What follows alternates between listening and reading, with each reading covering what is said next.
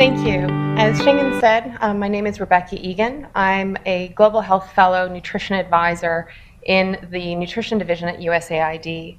And thank you, Shawn and the Forman family, for allowing me to be a surprise visitor and make a few introductory remarks on behalf of USAID. I promise to keep this very brief. It is my pleasure to announce today that USAID will begin to provide support to this annual lecture series honoring Dr. Martin J. Forman, done in collaboration with the Global Health Fellows Program. This support will also include the establishment of the Dr. Martin J. Forman Nutrition Fellowship to memorialize the name of USAID's most prominent director of the Office of Nutrition who served with us in the 1970s and 80s. The new fellowship is designed for USAID host country national staff working in the nutrition uh, in nutrition in missions around the world to strengthen our learning um, with the field. Among many of his accomplishments, Dr. Forman was on the interagency White House Task Force on Nutrition in 1965, which was the U.S. government's first effort to look broadly at improving international nutrition. He was also an early leader in recognizing the critical role of micronutrients in human development.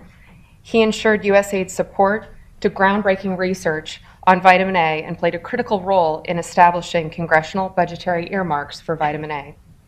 He supported the establishment of the International Vitamin, vitamin A Consultative Group, the International Nutritional Anemia Consultative Group, as well as the International Council for Control of Iodine Deficiency Disorders.